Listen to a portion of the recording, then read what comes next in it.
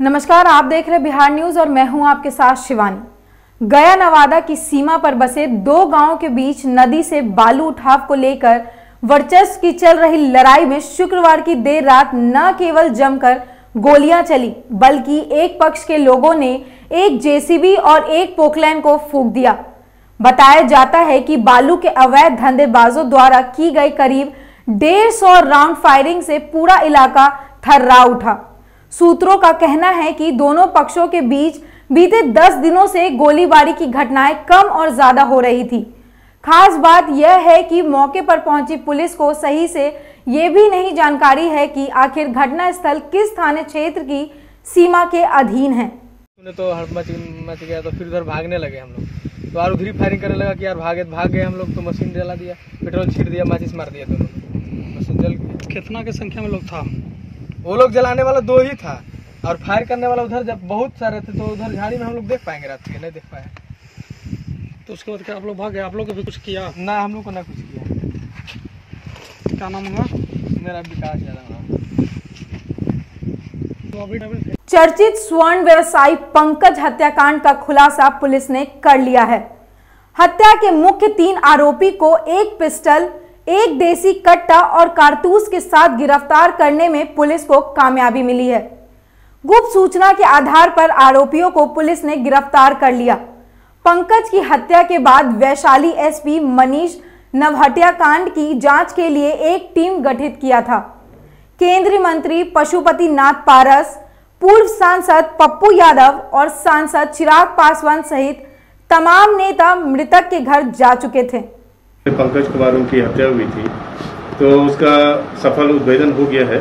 इसमें तीन लोग शामिल थे, सनोज सानी, बिरजू सानी, ये दोनों चक नासिर फतेहपुर के हैं। और तीसरा आदमी इसमें रोहित कुमार है, जो इसका है, भैरवपुर बिदुपुर का। ये तीन लोग शामिल थे। हत्या करने के पश्चात जो है, इसमें दो लोग दिल्ली भाग गया था। सनोज सानी और बिरजू सानी।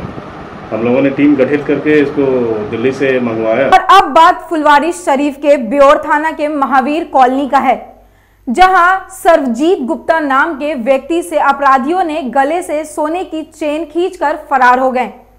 जब व्यक्ति इसकी सूचना देने के लिए थाने में गया तो उसे यह कहकर लौटा दिया गया कि आपके गले में चेन खींचने का कोई निशान नहीं है, जबकि उसके गले में निशान स्पष्ट दिखाई दे रहा है।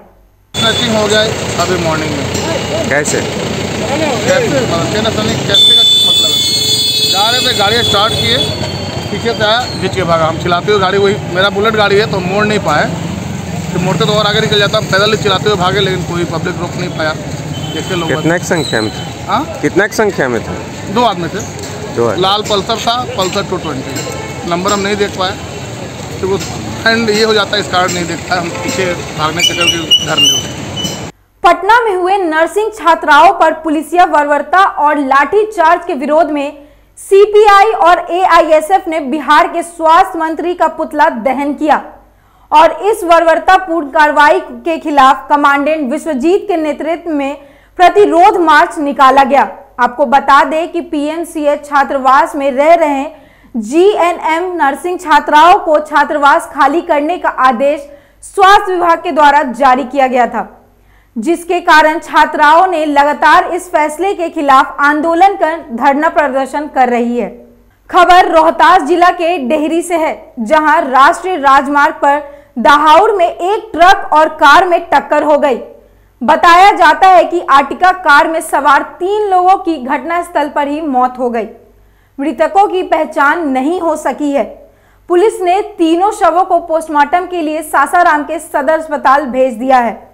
पुलिस तीनों मृतकों की पहचान की कोशिश कर रही है। पुलिस तमाम बंधुओं पर जाँच कर रही है। हाईवे पर तीन गो आदमी अज्ञात गाड़ी के टक्कर में पिचा के मर गया। क्या चीज़ क्या टक्कर हुआ? है कार था ट्रक खड़ा था। कहाँ पर? उधर हाईवे पर है। बगीचा रेस्टोरेंट। हाँ बगीचा रेस्टोरेंट के उधर बगल में। कौन थाना सर? डेहरी मुफस्सिल। आपका नाम? अरुण पासवान। जिला अधिकारी आनंद शर्मा ने कौशकी दुग्ध उत्पादक कंपनी और जीविका द्वारा संचालित हटिया गाची स्थित केंद्र का फीता काटकर उद्घाटन किया। उद्घाटन के उपरांत जिला अधिकारी आनंद शर्मा ने कहा कि मीरा स्वास्थ्य के लिए काफ़ी लाभदायक है।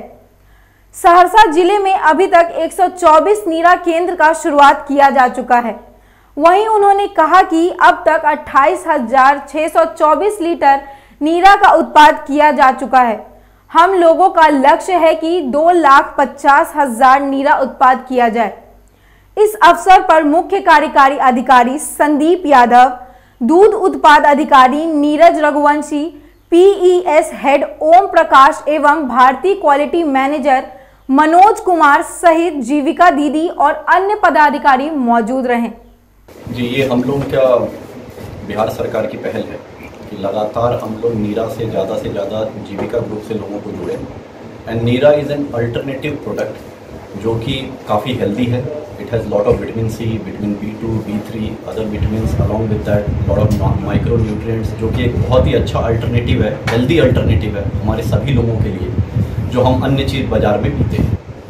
तो ये लगातार हम लोगों का प्रयास है और आज ये 124 स्टोर्स टोटल ओपन हो चुकी हैं। और मेरा सभी सहरसा वासियों से अनुरोध है और सभी लोगों से ये रिक्वेस्ट है कि आप लोग ज़्यादा से ज़्यादा इसको यूटिलाइज़ करिए। एक हेल्दी ड्रिंक है, आप इसके लिए और आगे से आगे आइए। हम लोग अट्ठासी हज़ार नौ सौ साठ लीटर अभी तक नीरा प्रोड्यूस कर चुके हैं सहरसा डिस्ट्रिक्ट में। और हमारा टारगेट है कि हम लगभग ढाई लाख लीटर इसमें प्रोड्यूस करेंगे। और लगातार हमारी ये पहल जारी रहेगी। सर इसमें किस लोगों को शामिल किया गया है सर? ये जीविका दीदी हैं ज़्यादा इसमें और हमारे पासी ग्रुप के जो समुदाय के लोग हैं वो बहुत मेहनत कर रहे हैं इसमें। आज हम लोग कईयों को सर्टिफिकेट भी दिए हैं जो दिन रात मेहनत कर रहे हैं इसमें। अन्य भी जो भी समुदाय के लोग इसको लाइवलीहुड के रूप में लेना चाहते हैं जुड़ना चाहते हैं हमारा पूरा प्रयास है कि हम उनके साथ हैं बेगूसराय में बीती रात एक दर्दनाक सड़क हादसे में अज्ञात वाहन की चपेट में आने से एक युवक की मौत हो गई। घटना फुलवरिया थाना क्षेत्र के बग, बघारा डिग एनएच 28 के समीप की है। मृतक की पहचान तेगरा थाना क्षेत्र के गौड़ा निवासी बलराम कुमार के रूप में की गई है। फुलवरिया थाने की गश्ती दल से जब बलराम कुमार को सड़क किनारे पड़े देखा तब उसे उठाकर स्थानीय पीएचसी ले आए, जहाँ डॉक्टरों ने बलराम कुमार को मृत घोषित कर दिया। फ़िलहाल पुलिस ने शव को कब्जे में लेकर पोस्टमार्टम के लिए भेज दिया है और आगे की कार्रवाई में जुट गई है। भाई लगता है तो हम लोग वहाँ गौड़ा होटल पर बैठे हुए थे तो बारह बजे में आया। और आया बातचीत तो हुआ हम लोग से। बोला कि हम घर रहता था बीहट, बोला बीहट के लिए। जा रहे हैं। हम लोग तो हम लोग तो पहले करीब में मत जाओ रात में। लेकिन बोला, नहीं, वहीं कम है। और यहाँ के बाद गया तो बगराडी जो है एक्सीडेंट हो गया। हम लोग को जो है दो बजे में पुलिस जो है पता करके मोटरसाइकिल के नंबर से वहाँ पहुँचा। तो हम लोग को जानकारी हुआ। जानकारी होने के बाद हम लोग आए। पुलिस भी साथ में थे वहीं ला करके और फ़िलहाल इस वक्त के बुलेटिन में इतना ही। बने रहें बिहार न्यूज़ के साथ।